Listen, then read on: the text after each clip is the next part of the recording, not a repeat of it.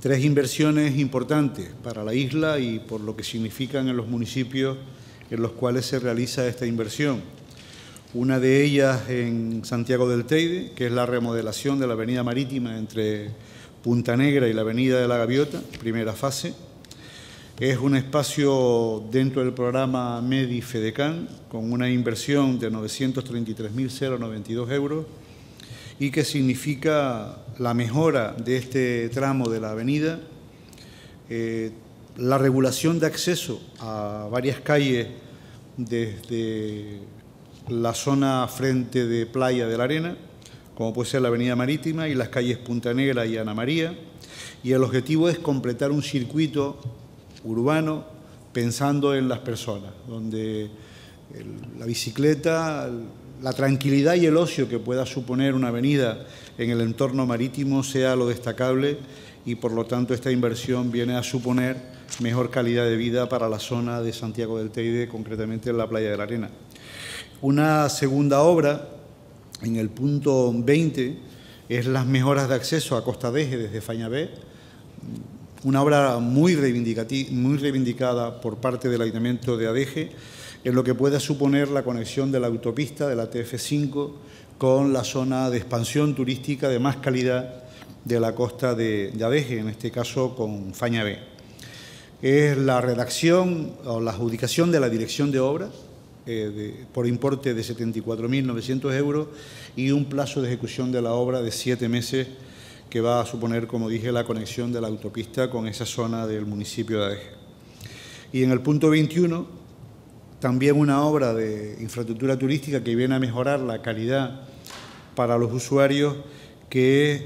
la conexión de la playa de San, Blas con los abrigos y el paseo marítimo de San Miguel.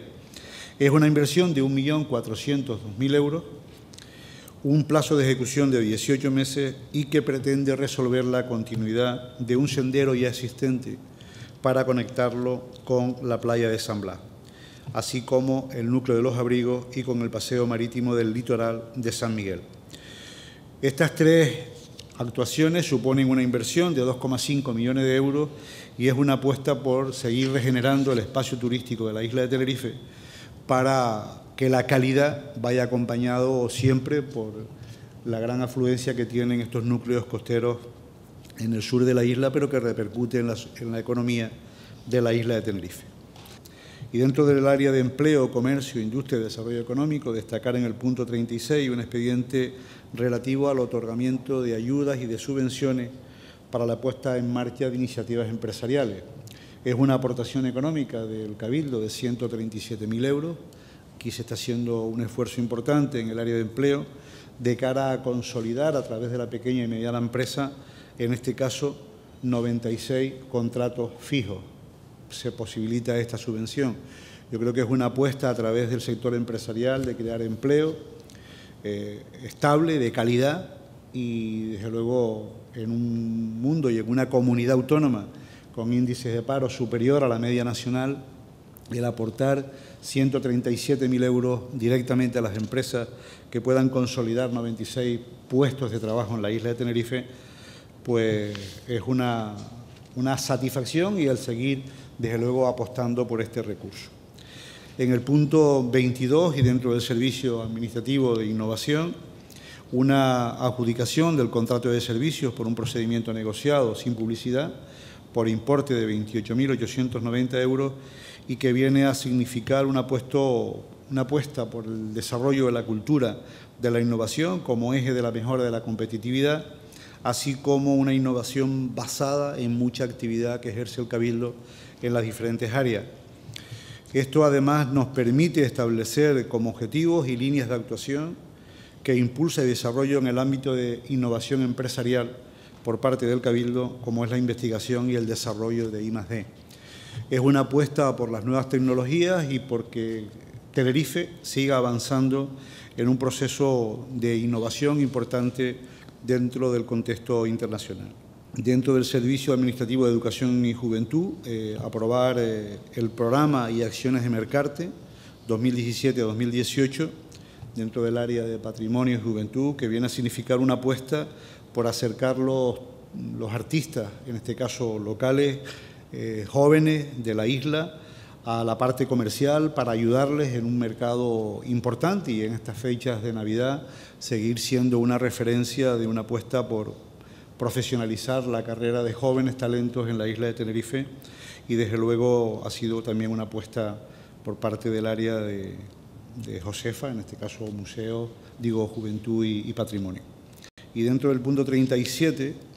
eh, una adenda al convenio de colaboración con la Cruz Roja, esto es ya dentro del área de medio ambiente, con la Cruz Roja Española en materia de protección civil por importe de 70.595 euros, que yo creo que es un trabajo importante y un reconocimiento a una entidad como es la Cruz Roja de referencia mundial y que nos pueda colaborar en los espacios naturales, en este caso en el Parque Nacional del Teide, en prevención, en actividades de rescate, actividades de información y sensibilización a la población. Creo que es un trabajo que está haciendo de forma extraordinaria el área de medio ambiente con Cruz Roja y dentro de un convenio marco pues permite colaborar y establecer los protocolos de actuación a la hora de eh, operativos de preventivos como dispositivos de seguridad para la peregrinación, eh, tanto en el caso de Candelaria, por ejemplo, ese día tan señalado para los tinerfeños, ese apoyo logístico para nosotros es importante y también atención de emergencias en ámbitos especialmente sensibles, como puede ser actos de abundante afluencia de, personas y de público y que tener, poder tener contar con, con Cruz Roja. Y también, por último, como es formación y capacitación, que nos posibilita a todo el personal del área de medio ambiente tener un apoyo siempre de formación y de capacitación.